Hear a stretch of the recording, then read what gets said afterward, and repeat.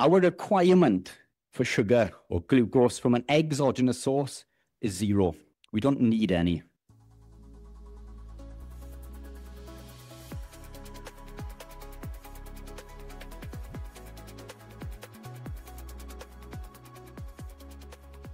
Our requirement for plant compounds, in my opinion, is absolutely zero because vitamin C can be found in animal proteins.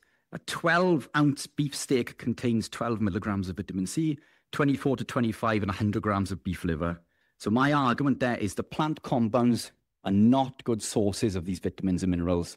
Let's look at energy production. How are we doing for time? Oh my goodness. Okay. Let's be, I knew I'd get carried away. Glycolysis. So this is the process where we break down glucose or carbohydrate for sugar I'm going to explain really quickly what this is. So the glucose, it doesn't seamlessly enter the mitochondria.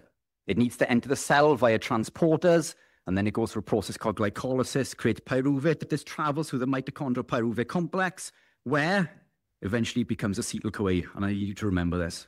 Acetyl-CoA goes into the citric acid cycle. This creates ATP. Fantastic. Woo. Okay. What else does it do? As Prof. Noakes mentioned, these compounds, these carbohydrates, these cereals, they will elicit a number of responses. Obviously, the pancreas will re uh, release insulin.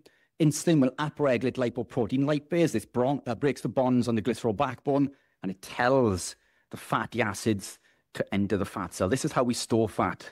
In short, carbohydrate tell your body to store fat. In order to burn this fat, we need hormone sensitive lipase to perform this, this, this process in reverse, if you like. The issue with this is when insulin is elevated, it blocks hormone sensitive lipase. So not only does it tell your body to store fat, it prevents your body from burning that fat. So if you consume your bowl of muesli in the morning in an attempt to fuel your run to burn body fat, you are not burning body fat when insulin is elevated. It's almost biologically impossible. This is a glucose uh, Fischer projection. So when we consume the carbohydrates, they travel through the body in two forms, a cyclical form and a linear form. At the top, the carbon double bond oxygen.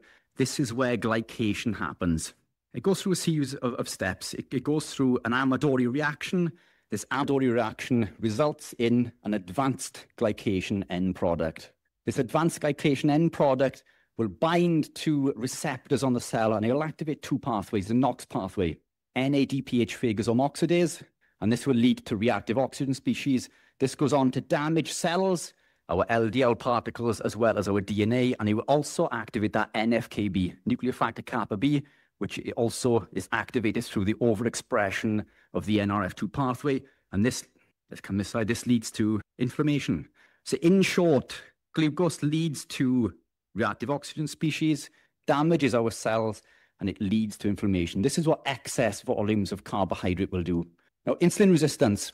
When we consume excessively high levels of exogenous glucose or carbohydrate, it leads to what we call insulin resistance. But insulin resistance doesn't really exist. Now, the cell becomes protective. The, the body doesn't lose its ability to use the insulin. What happens is the GLUT4 transporter translocates into the cell in order to save the cell. The cell is too full. It doesn't want to take any more cargo because if it puts any more in, it's going to start to leak and cause issues. So it tells the, the, receptor, the GLUT4 receptor, to translocate into the cell. Therefore, the glucose cannot enter the cell. Now, when we look at um, things like metformin, metformin will signal the increase of AMPK, and this forces the translocation of the GLUT4 transporter back to the surface, forcing that glucose into the cell when it doesn't want it. Your body's telling you that that cell doesn't want it. All we are doing is moving it from the blood to the cell. It's still in the body, but it's causing more harm in the cell than it is in the blood. And that's what happens when we become insulin resistant. So that would be my argument against insulin resistance. But as the terminology of insulin resistance, and we all understand it, I'm going to go along with insulin resistance. So we consume these carbohydrates. It leads to this, this state of insulin resistance. This leads to something called glutamate excitotoxicity, which pushes the glutamate and GABA ratio out of whack. Uh, as Bitten mentioned yesterday, the uh, uh, glutamate to GABA ratio is critically important. When we increase one, the other is suppressed. Glutamate is excitatory and GABA is the calming part of the brain.